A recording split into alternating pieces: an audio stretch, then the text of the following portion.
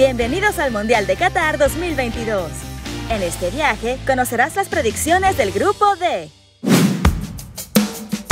Francia es el actual campeón del mundo, defenderá el título en Qatar y buscará su tercera estrella, tras las alcanzadas en 1998 y 2018. La última vez que no avanzó a los octavos de final fue en Sudáfrica 2010. Es candidata a llegar al menos a las semifinales del campeonato. Las bajas de Paul Pogba y N'Golo Kanté pueden ser un hándicap, ya que hay mucho desbalance entre ataque y defensa en esta selección para Qatar 2022. Su director técnico es el francés Didier Deschamps. Y estos son los 26 convocados. La figura de la selección francesa es el actual balón de oro y delantero del Real Madrid, Karim Benzema. Australia. El Mundial de Qatar será la sexta participación en su historia en las Copas del Mundo. Registran cinco clasificaciones consecutivas desde Alemania 2006. Solo han avanzado a los octavos de final una vez y fue precisamente en Alemania 2006. Compartió grupo con Francia y Dinamarca en Rusia 2018 y no pudo ganarle a ninguno de los dos. En Qatar buscarán revancha. Su director técnico es el australiano Graham Arnold. Y estos son los 26 convocados.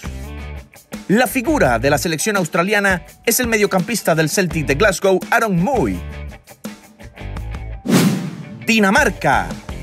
Al igual que su rival de grupo, Australia, Dinamarca matriculará en Qatar su sexta participación en Copas del Mundo.